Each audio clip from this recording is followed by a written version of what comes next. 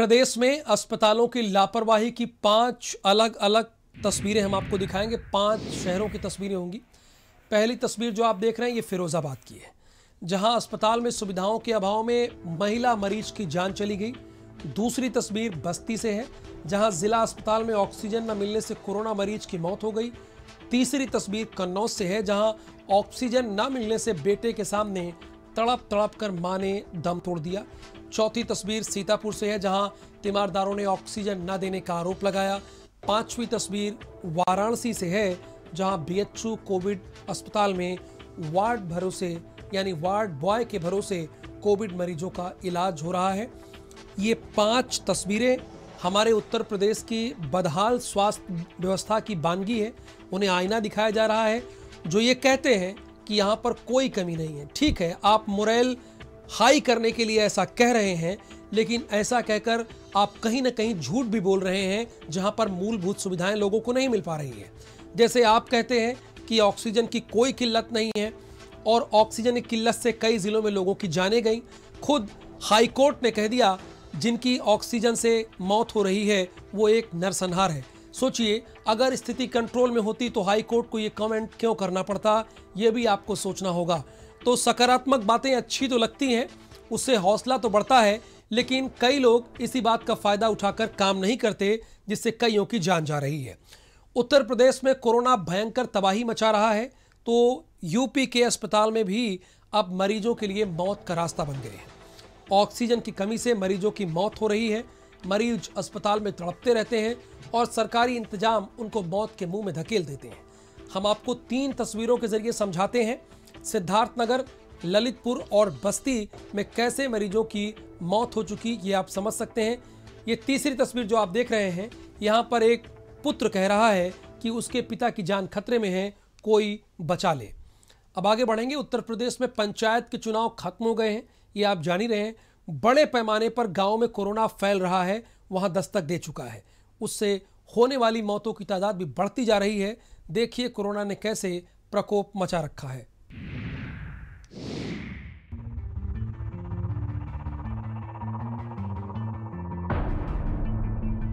UP में पंचायत चुनाव के साथ ही बड़े पैमाने पर गाँव में कोरोना फैल रहा है।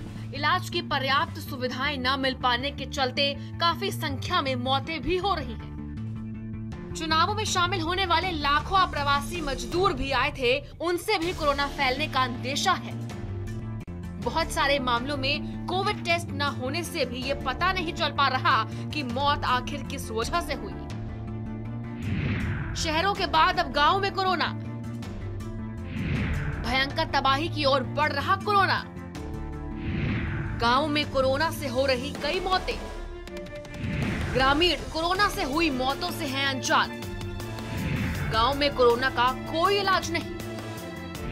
न हो रही टेस्टिंग न हो रहा इलाज। गाँव में बुखार आने के बाद सीधे मौत। गाँव में मौतों का बढ़ रहा है आंकड़ा।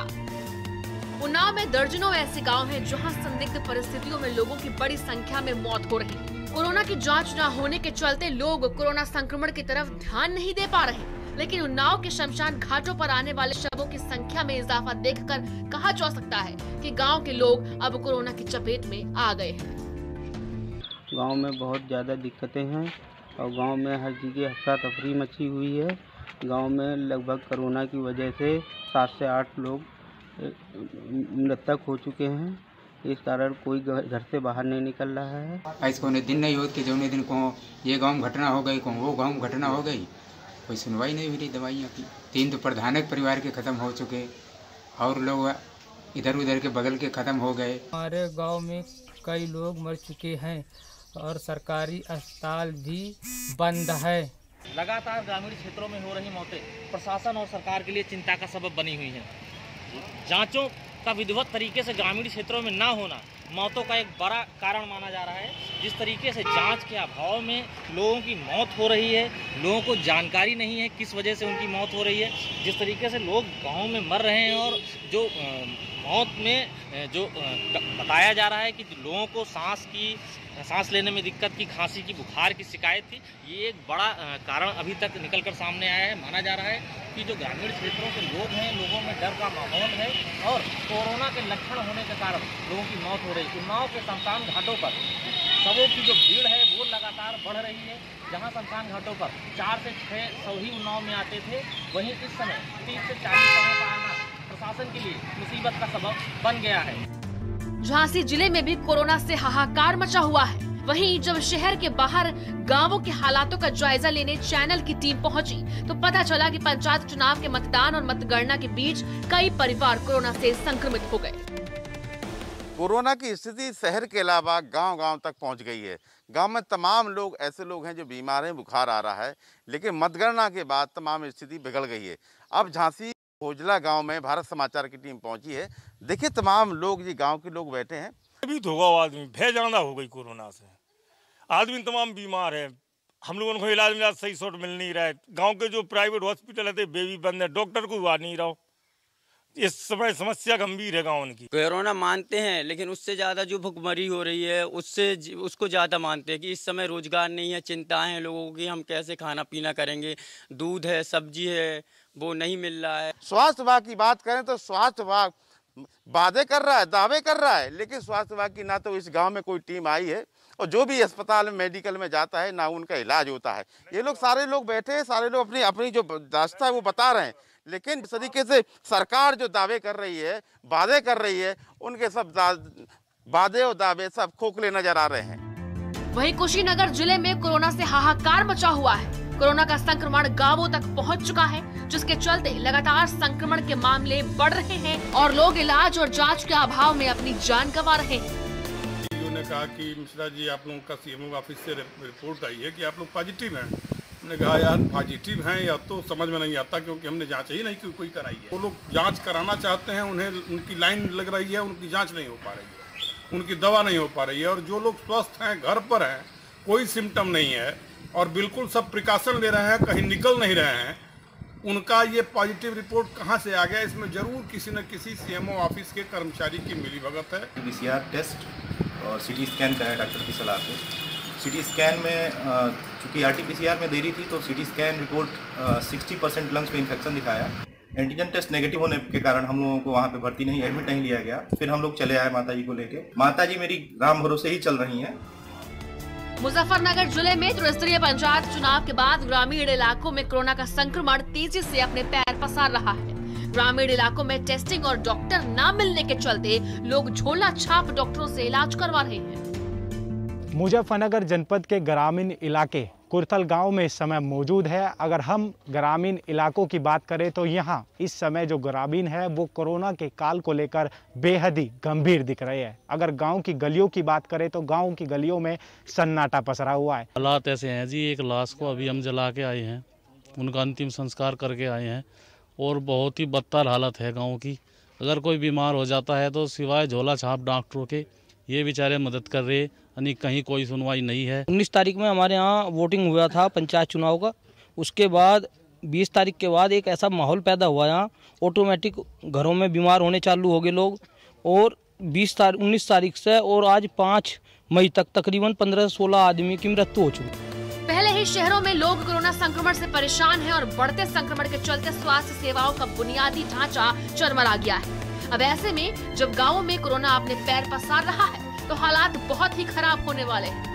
इससे कहीं इनकार नहीं किया जा सकता कि सरकार जो भी इंतज़ाम कर रही है, वो कोरोना संक्रमण को रोकने के लिए नाकाफी है। स्पेशल रिपोर्ट, भारत समाचार।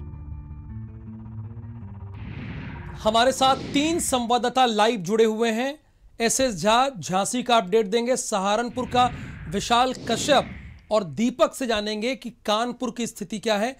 विशेष तौर पर तीनों जो हमारे संवाददाता हैं मेरा उनसे यही सवाल है कि अब ग्रामीणों की तरफ़, ग्रामीण इलाके में कोरोना बढ़ रहा है, वहाँ क्या अवेयरनेस है?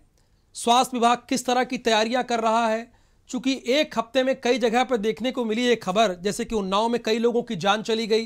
कानपुर में ऐसी खबरें आई हैं जहाँ पर एक हफ़्ते में इकतीस लोगों की जान चली गई। तो विशाल, मैं ये आपसे जानना चाहूँगा कि सहारनपुर के ग्रामीण इलाकों में क्या स्थिति है और स्वास्थ्य विभाग क्या कर रहा है?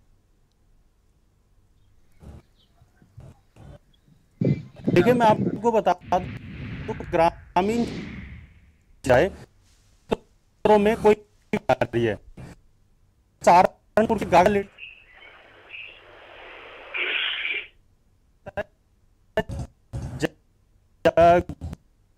बुखार आपको इस ऐसा केंद्र सामुदायिक हुए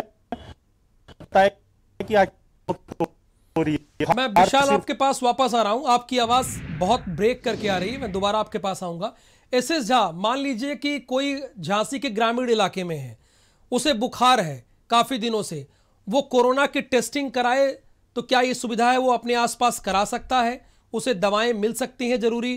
क्या सुविधाएँ हैं ग्रामीण इलाकों में झांसी में? देखिए आपको बता दूँ मतगणना के बाद तमाम ग्रामीण क्षेत्र में बीमार हैं। लेकिन टेस्टिंग की बात करें तो अभी तक कोई टेस्टिंग नहीं हो रही। लेकिन टेस्टिंग की जिला जिला प्रशासन ने जो मीटिंग की थी कि उन्होंने कल ही बताया था, सभी गाँव में टेस्टिंग होगी। लेकिन अभी तक ना कोई टेस्ट टेस्टिंग करने वाला वहाँ स्वास्थ्य विभाग की टीम पहुँची है। तमाम लोग ऐसे हैं जो बीमार पड़े हैं, बुखार है, किसी को खांसी है, किसी को जुकाम है।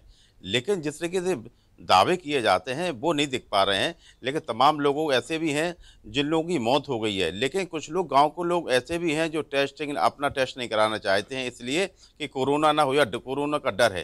तमाम लोग ऐसे भी हैं, गाँव में लोग तमाम बिना मास्क के घूम रहे हैं। जैसे कि मतगणना के बाद, जीत के बाद तमाम लोग अपने गाने बजाने, डांस में मौजूद हैं तमाम लाल, गुलाल उड़ा रहे हैं, फिर रहे हैं। लेकिन स्वास्थ्य विभाग की बात करें तो स्वास्थ्य विभाग अभी तक किसी भी गाँव में नहीं पहुँचा है जहाँ पर टेस्ट हो सके जी। दीपक कानपुर के ग्रामीण इलाकों की क्या स्थिति है?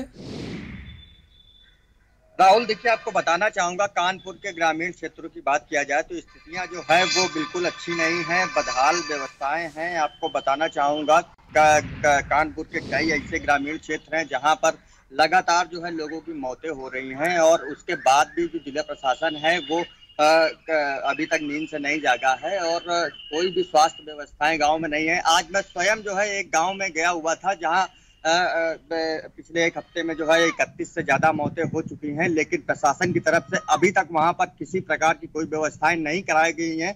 ग्रामीणों का साफ़ तौर पर कहना है कि केवल टीम आई थी और वो सैनिटाइज कर करके, खाना पूर्ति करके चली गई और इलाज के नाम पर अभी तक उन्हें कोई व्यवस्थाएँ मुहैया नहीं कराई गई। हालाँकि जो है ग्रामीणों का कहना ये भी है कि जब वो प्राइवेट हॉस्पिटल में इलाज के लिए जाते हैं तो वहाँ भी उन्हें किसी ना किसी बहा, प्रकार का बहाना बना करके जो है उन्हें वापस भेज दिया जाता है और इसी प्रकार से वो मेडिकल स्टोर से दवाइयाँ खरीद करके अपना इलाज जो है वो करा रहे हैं। गाँव गाँव में सैकड़ों लोग जो है अभी भी बीमार पड़े हैं और उनके स्वास्थ्य की कोई भी व्यवस्थाएँ जो है वो अभी तक प्रशासन की तरफ़ से नहीं की गई है। जी, राहुल। और विशाल, आपके यहाँ?